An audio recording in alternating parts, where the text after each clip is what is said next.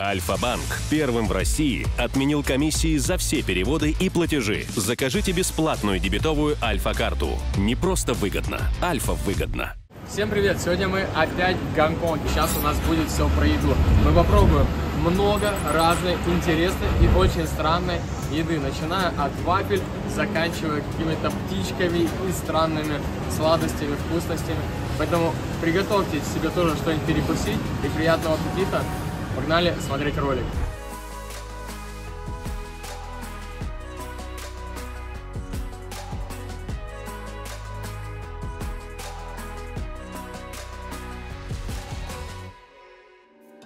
Казалось бы, мы в каком-то обычном месте по типу Макдональдса или еще чего-то. Но оказывается, мы в самом дешевом ресторане со звездой Мишлен.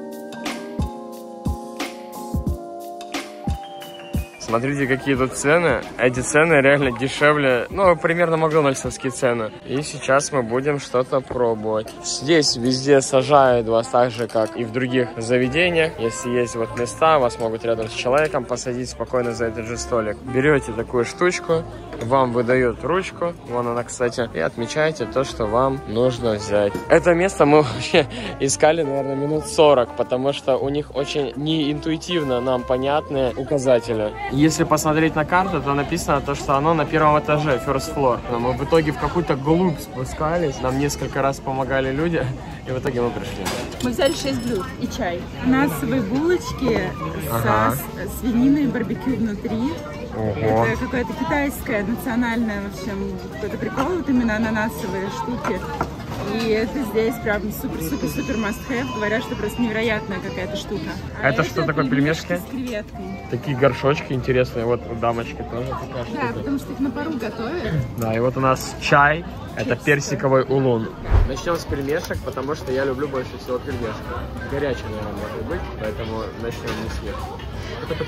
Начнем с ананасовой булочки. Такая рассыпчатая она. Вот так вот это выглядит.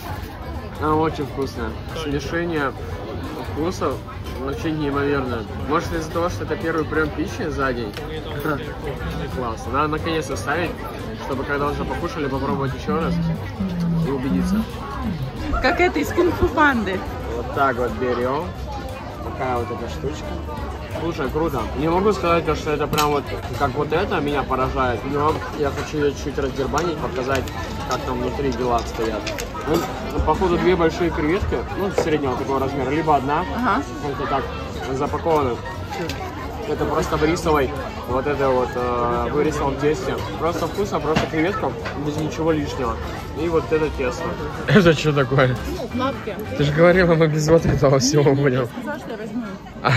Да, я видел то, что много кто ест. Вообще это популярная тема в Азии. Есть лапки. Но лапки это такая история, она больше на любителя. Сейчас будешь рассказывать тогда, что там. Даже местные не настолько рисковые ребята и берут вот обычные такие пельмешки, как у меня. Тут они приготовлены на пару. Да, и они в каком-то соусе, видимо, да? Не знаю, как раздербанить. Нафига руками уже? Пальчик.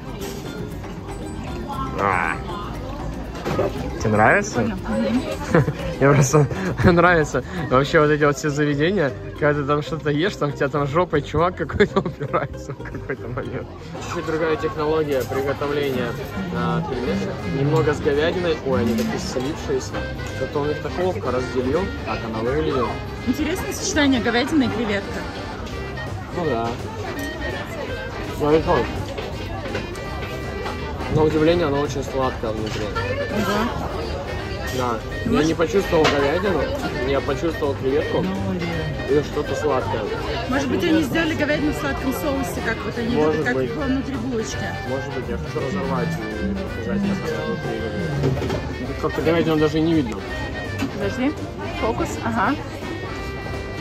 Ну, может, да, они сразу? что-то- Возможно, вот эта штука очень сильно сластит, которая наверху лежала. А. Как будто это какой-то сухофрукт. Блин, вкусно, вкусно. Короче, я решил попробовать палец. Ну, не знаю, честно, вот по мне, Не твоя история, да? Не моя история, самая худшая из всего, что тут было. И смотрите, вот принесли нам такие, это овощи, получается, да, и какие-то ягоды. Какой-то микс овощей Ну, это, да, китайских. реально спаржа. Да? Они, наверное, довольно нейтральные должны быть по вкусу. Обычные зажаренные каким-то Жареные? Ну, запаренные, Жареные? запаренные. А, на пару, да? Просто какой-то микс овощей. Как будто вареный салат. Да, кстати, очень сильно похоже на вареный салат. Ну, вот была спаржа, была кукурузка. Пекинская Сейчас- капуста. О, Это пекинская капуста, да? да. Вот это вот мне очень интересно, что это такое. Мне кажется, это грибы. Это что-то очень Я тянущееся. думала, это морковка. Нет. Это очень похоже тоже на какой-то водоросль. Обычное блюдо. Для кафешников. Это точно водоросли. Да. Она прям похожа, как будто она должна... Похоже, быть в как море кораллы или что-то такое, знаешь?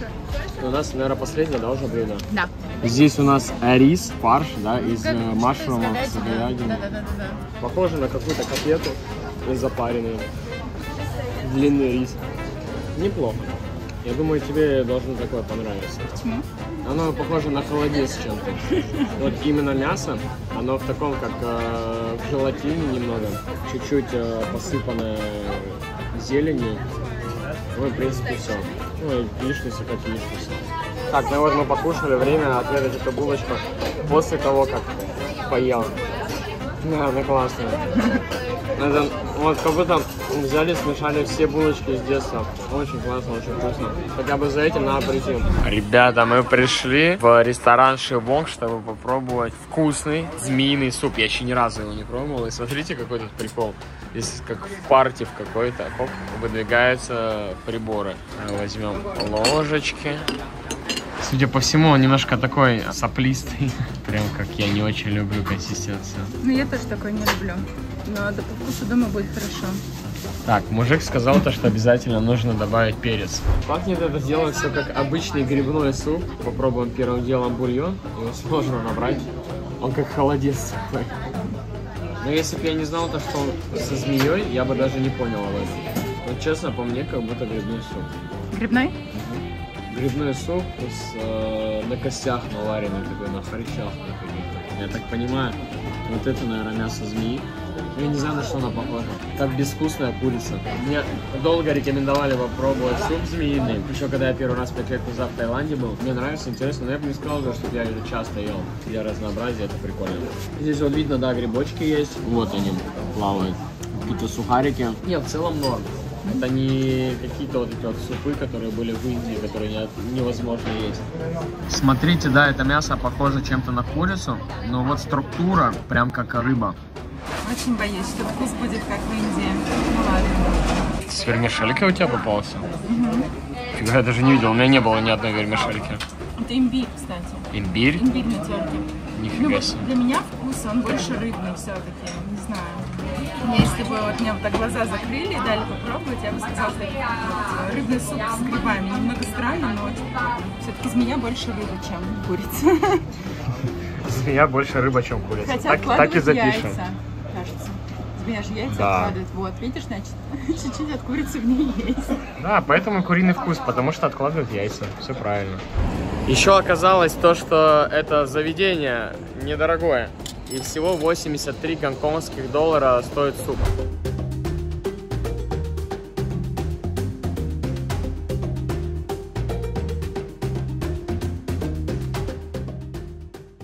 Альфа-банк первым в России отменил комиссии за все переводы и платежи. Закажите бесплатную дебетовую Альфа-карту. Не просто выгодно, Альфа выгодно. Сейчас мы пришли в одну из самых вкусных и, наверное, популярных, да, по крайней мере, судя по очереди, вафельниц, вафельных точки в Гонконге, где продают вот еще одну визитную карточку этого города, этой страны. Есть вот венские вафли, Венские. а есть гонконгские. Вот они такие кругленькие. Интересно. Кругленькие, и вот такие больше похожи на. Это. О, этот больше похож на венскую вафлю, а этот похож на яйца на какие-то. Ну, я полдня не ел, поэтому я думал, мне очень сильно понравится. Неожиданно, кстати, я думал, они будут целиком сушеные, а они снаружи зажарены, а внутри тесто, оно вот прям вот тянется.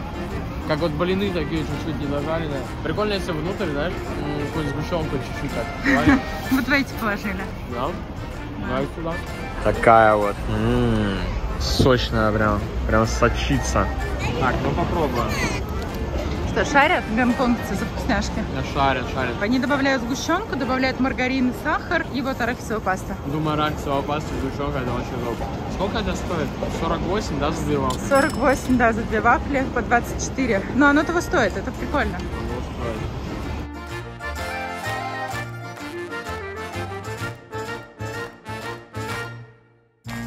Итак, друзья, сейчас хочу показать вам местную сушную, где на рельсах просто к вам приезжает поднос с вашим заказом.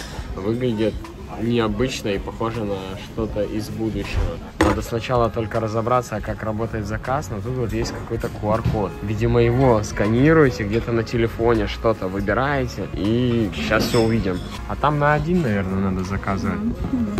Вот, все на китайском, на гонконгском языке. Замечательно. Я точно знаю, что нужно взять. Даже цен нет.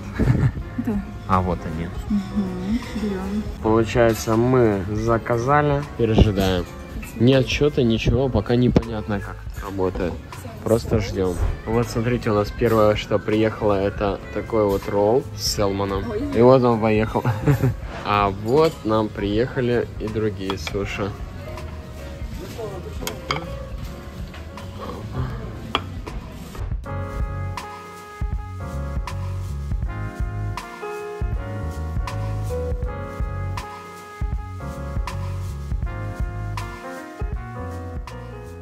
Ребят, смотрите, идем просто, смотрите, какая детализация. И это похоже на бивень, просто огромный бивень, в котором такую красоту исполнили. Вот такая небольшая стоит 150 тысяч, 156. А сколько стоит вот это, мне даже страшно предположить. Ребят, я вот в силу своей необразованности не знал то, что Мишлен, который выдает звезды Мишлен, выглядит так же, как Мишлен, которые шины. Пришли в такое вот место. Причем мы в первый день здесь были, даже не знали. Вот на этом же подоконнике сидели, что-то там из 7-Eleven хавали. А оказывается, здесь заведение, где делают самые вкусные э, пельмешки. А еще тут какая-то схема, и мы на нее повелись. Интересно, что это такое. Ребята подходят и говорят, то, что они а, купили больше, чем им нужно, и предлагают, чтобы люди не стояли в очереди, а, купить у них. Может быть, они просто накупили таких же упаковок, просто продают. Либо купоны, да, есть. Либо есть купоны, и они покупают, может быть, больше, чтобы какую-то скидку э, получить, и потом перепродают. Вот такие вот пельмешки, 4 штучки, стоят 40 э, местных долларов. Это 7 долларов? А чуть поменьше, шесть? Шесть. 6. Вот, Она увесистая причем. Очень вкусная такая пельмешка. Немного сладковатая. Сверху она получается такая на пару приготовленная, снизу она чуть-чуть а, подзажаренная. Бульон просто нежнейший. Мясо. Мясо не могу понять по консистенции. Выглядит чуть-чуть странно. Но если подумать, полтора доллара за пельмешку дороговато, конечно. Насчет этой темы, как у ребят, а, по приезде сюда, в страну, в аэропорту, часто выдают купоны. Ну, вернее, их не выдают, нужно подойти и взять. Каждому, кто прилетает, полагается такой купон, можете зарегаться, получить там сколько это, 100 местных долларов. Они учитываются, если вы покупаете условно на 100 местных долларов. 100 покупаете, 100 плюсуется, получается вы заплатили 100 и кушаете на 200. Может быть, ребята, да, ребята просто накупили на 200, а им нужна была начала прихорашиваться. А, накупили на 200, взяли то, что им нужно, а остальное решили просто реализовать. И почему бы вообще теряться, если есть такая возможность. А еще здесь есть такой интересный прикольчик. Здесь почти везде можно оплачивать проездным за метро. Вот он так выглядит. Продается в каждом 7-Eleven, еще где-то. На него просто кидаете бабки без процентов, без ничего, и потом можно прикладывать и платить. Вот очень удобно. Где же зарабатывает Сережа? Сережа зарабатывает на Ютубе, делает вот эти вот ролики своими руками и руками других людей, которые помогают а, Сереже. А еще Сережа учит людей, как делать такие же классные видео, чтобы они набирали, а самое главное, чтобы они приносили вам доход. Не просто какие-то просмотры, да, с которыми не совсем понятно, что делать, а именно, как с этого зарабатывать, как жить, как путешествовать также и, ну, как быть свободными. Поэтому, если вам интересно, то переходите в мою группу в Телеграме и в Инстаграм. Там я обо всем подробно рассказываю, можете смотреть бесплатно, перенимать всю информацию, внедрять, кайфовать. Рекомендую от души.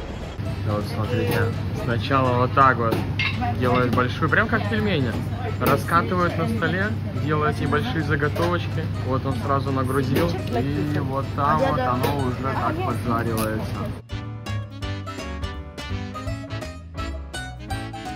И вот если кому-то хочется попробовать, вот так он называется. Ссылки я тоже оставлю. Так, и мы медленно перетекаем в место, где можно попробовать голубя. И чем отличается это место? А, Это его стильным оформлением. Как индийский ресторан какой-то выглядит. Это очень прохладно. Пахнет старостью. Это ресторан какого-то очень старого года.